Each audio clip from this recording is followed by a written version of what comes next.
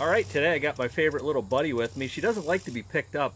I can hold her and, you know, she's okay with, like I can pet her and stuff, but she's not, she doesn't really like getting picked up. But anyways, today I figure I'd go out. I talked about the shake test.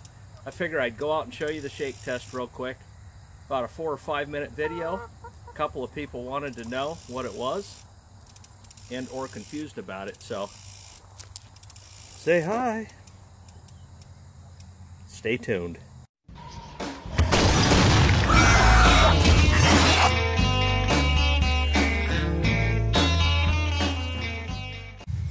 All right, so here we are.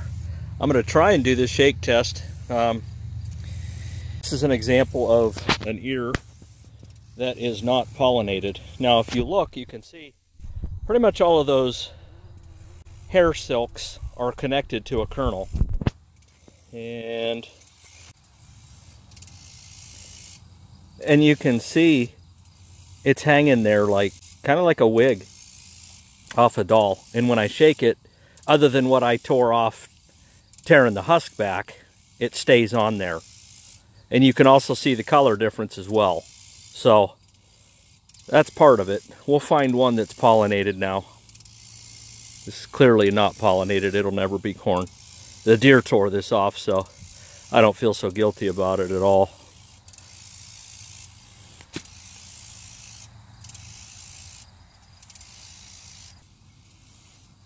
All right, so I found an ear that the deer bit off. So the end of this is not going to look real good or anything like that, but you can see that the silk has died. It's a dark color, so my hypothesis is that when I peel this back, it's the, the silks are going to be not attached to the kernels when I shake it.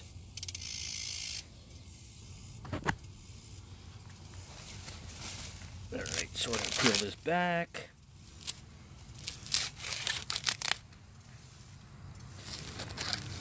Better off doing this with a knife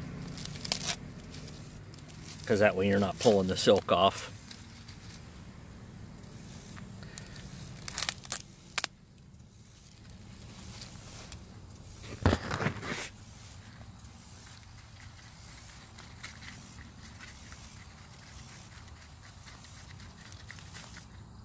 See how the silk is not on there after shaking it? Some of them are.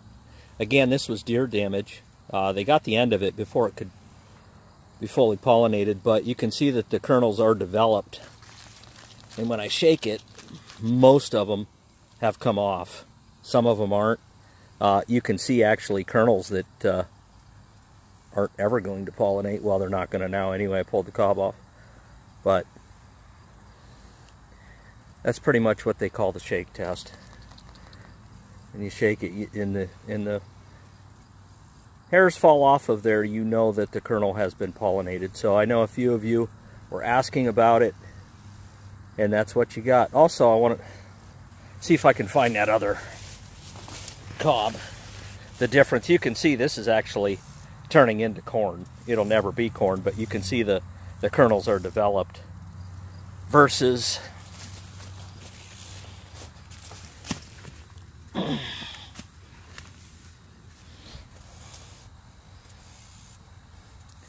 undeveloped kernels.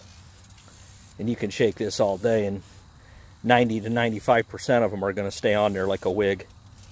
But yep, undeveloped kernels, not pollinated.